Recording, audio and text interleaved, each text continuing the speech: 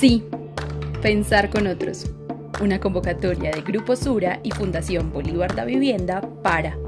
ampliar los puntos de vista, globalizar voces diversas,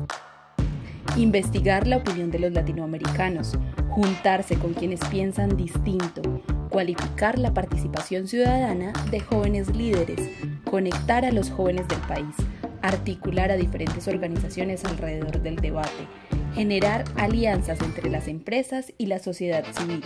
reconocer y apoyar las iniciativas de las comunidades para el desarrollo de sus territorios, reconstruir la memoria y reparar a las víctimas para aportarle a la paz y a la reconciliación, encontrar nuevas rutas de solución que partan del diálogo, la escucha e incluso el humor.